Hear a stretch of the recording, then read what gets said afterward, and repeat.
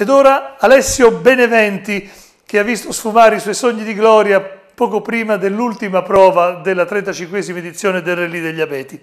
Il suo navigatore non è con lui, è valdostano, è tornato in Valle d'Aosta, lo incontreremo senz'altro prossimamente nei nostri spazi.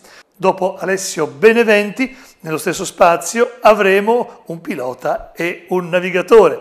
Si tratta di Nicola Franceschi in compagnia di Arrigo Brandani sono giunti terzi, brillantemente terzi, all'ultima edizione del Rally degli Abeti. Prego. Amici sportivi, eccomi in compagnia di un bel trio. Si allargano le telecamere e eh, in ordine tranquillamente da sinistra verso destra. Alessio Beneventi, Buonasera. Francesco Nico, eh, Nicola Franceschi e Arrigo Brandani, ovvero il ritirato prima dell'ultima prova dell'ultimo rally degli abeti e i terzi assoluti sempre dello stesso rally degli abeti. Non si fanno applausi, però bene o male anche tu eri d'applauso, dai, perché bene o male eri in una bella posizione con una macchinina bella, bella pepatella. Sì. E poi cosa è successo prima dell'ultima prova? Eh, ho sentito un rumoraccio e purtroppo mi è toccato... Ma era in trasferimento? Sì, era in trasferimento. Quindi neanche col motore sotto sforzo? No, no, ero tranquillissimo. Avevo fatto l'anticipo da 20 secondi nemmeno. Queste sono, queste sono, soddisfazioni, si dice una volta. ma no, ma guarda... Per modo di dire, ovviamente, scherzando. Mi ero divertito tantissimo. L'incavolatura è stata da 1 a 1000 10.000, però... Non più di tanto. No? No. Sembrava quasi... Ma non ti aveva dato qualche sentore prima? Un no. po' di rigidimento, qualcosina? No, no, assolutamente no. anche perché di solito a molla valvola non ne dà, eh. o su o giù. Eh, no, ma non mi aveva dato nessun tipo di avvertimento. Quindi la bella fumatina, bemus papam? Buongiorno, Infatti quando ho aperto il cofano ho visto che c'era esaltazioni da, da recupero della Ma te l'ho sempre detto, ma prima di andare in, in, gara devi fare un saltino, fare sempre la prece, magari si Io la, io la mia nonna mi leva il malocchio tutte le volte, ma stavolta non ha funzionato. questo, questo, è bello, stavolta invece... Nonna, mi sa che devi fare qualche ripetizione. Eh? e veniamo invece ai due nostri baldi terzi assoluti Effettivamente vedervi andare in prova con quel bel 1600, bello rumoroso ma bello tosto, eh? e sono soddisfazione, bisogna sì, dirlo. Sì, sicuramente, eh? una bella soddisfazione. Poi per chi come voi, insomma, era la vostra gara, la vostra gara di casa. Eh, ci teniamo in particolar modo, no? correre, correre, in casa, insomma, con un mezzo del genere ci ha dato parecchia soddisfazione. È una macchina, eh, diciamo, è la seconda volta che ci abbiamo corso è una macchina abbastanza complicata da portare mh, mm, con, un certo, un certo passo, un certo livello, però diciamo ci siamo riusciti in parte.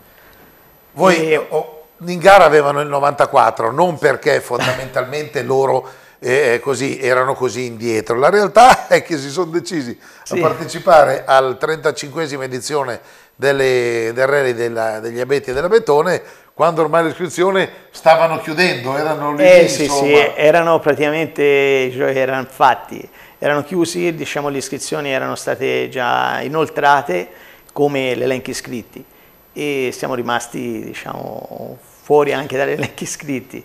Però vabbè. In effetti allora, anche noi che abbiamo fatto la diretta della prima prova ho detto era, è questo, questo che parla E invece il buon Alessandro Bugelli ha detto ma no lo conosco, lui e Franceschi eccetera, c'è stato un, un, un problemino durante, durante le iscrizioni, però tranquillamente risolto. Sì, sì, e direi bene perché insomma Benissimo. Terzo, terzo, assoluto, podio, ah, Inaspettato sicuramente perché... Dai, oh, davanti ci avete due R5, per cui sì, oltre, era impossibile fare No, ass assolutamente, eh. oltre penso non sia stato possibile fare e niente, è girato tutto come doveva girare, è girato tutto bene, abbiamo avuto fortuna.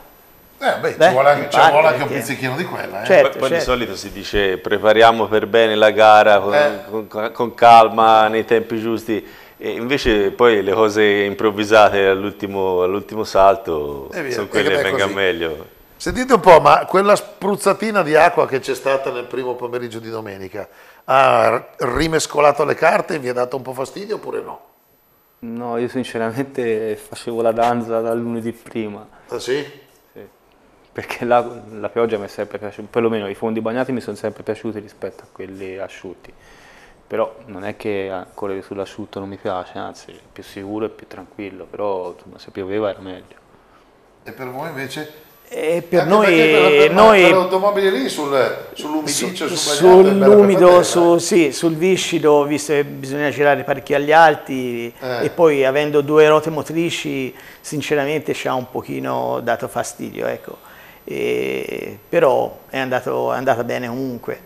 E sulla prova del melo siamo partiti con gomme d'asciutto e senza averle intagliate niente. Il primo tratto, i primi chilometri su fino, fino al melo, era, pioveva, pioveva forte e quindi siamo stati un po' penalizzati, però va bene, il risultato poi.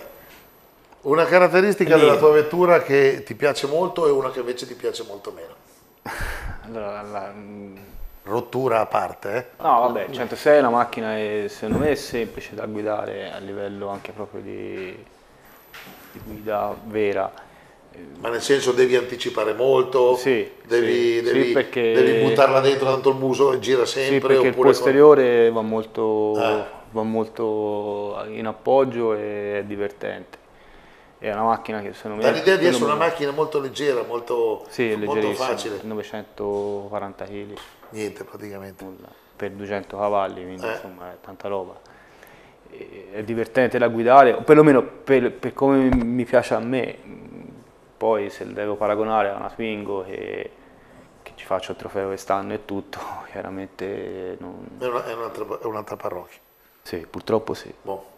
E per voi invece il vostro Super 1006? Il nostro Super 1006, avendoci corso praticamente pochissimo, e la, la cosa più difficile è l'occhio, è l'ingombro, è parecchio, è parecchio larga e sicché è un po' eh, penalizzante quella E cosa lì. pensa invece che E io poi, mi ero fatto l'idea che invece sul misto, sul misto veloce è una bella macchina.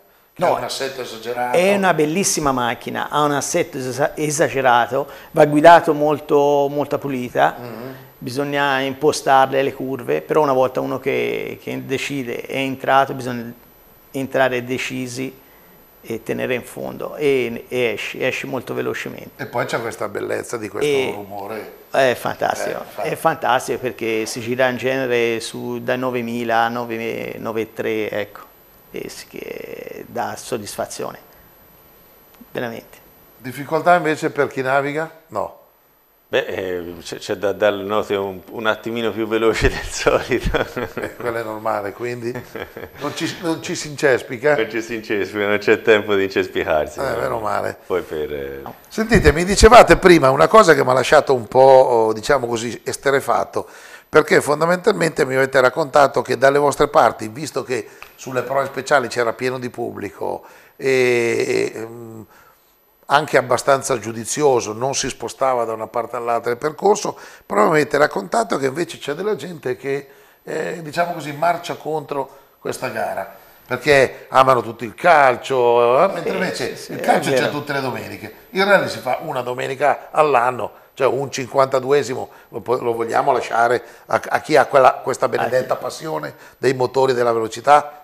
Cioè non bisogna eh, danneggiare eh, la popolazione, però se succede una volta su 52 eh, weekend, eh, scusate, non si dice neanche pazienza, si dice solo di, eh, visto che i rally portano beneficio anche Eh, al sì, territorio, Sicuramente. eh, non si Porta- può sempre volere solo il calcio o altre cose. Poi No, nella no. provincia di Pistoia c'è anche il basket, che è molto forte. No, Se poi uno pensa che mh, perlomeno per tre giorni alla montagna pistoiese porta qualche dindo perché Appunto, eh, albergatori, barristi, commercianti, insomma tutti i commercianti Io, sempre- genere- io ho visto, sono stato su due giorni, ho visto visi sorridenti.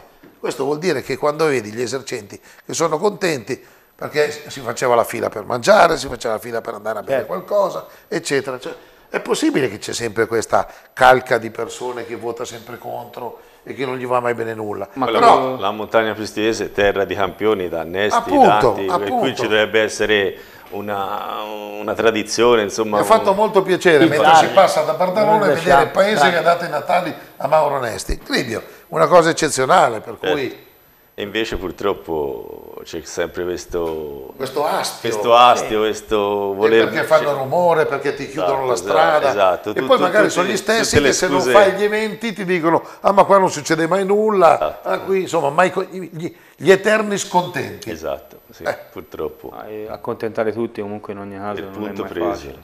Ho capito, però abbiamo, eh, l'ho già detto prima, un 52esimo, cioè un weekend su 52, Ah, so. togli Natale, Pasqua, Ferragosto, per cui già su 49, eh, oh. non ci vuole granché, no?